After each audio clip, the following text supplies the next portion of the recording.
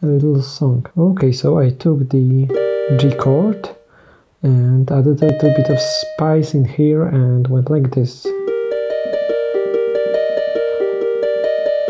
And then to D and again added the, the same note. And I put that into the computer over here and I have the piano roll like this and you can just click and and put the notes over there. And you know it's the same the same over here.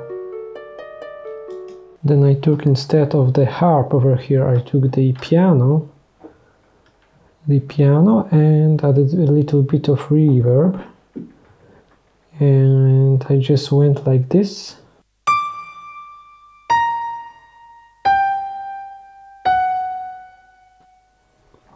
okay. And then I put that into the computer as well. And uh, made some variations of that. And made a little song like this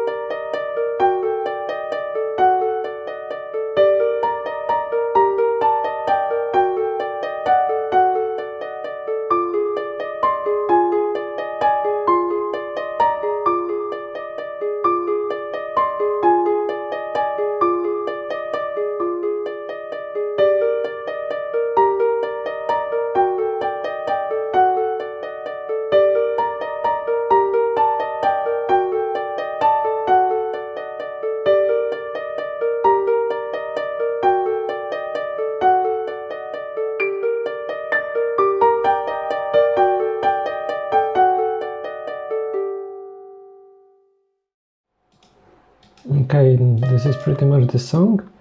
And I've got the two tracks. On track one we have the harp. And on the track two we have uh, grand piano. And on the FX1 channel I just added a little bit of reverb.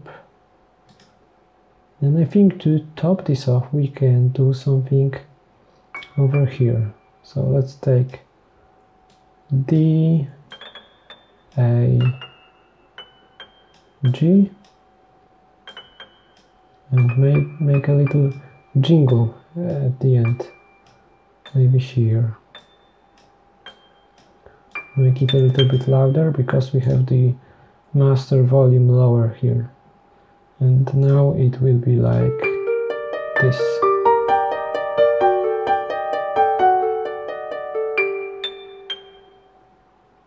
And that's pretty nice. So thank you for watching and see you in the next one. Bye bye.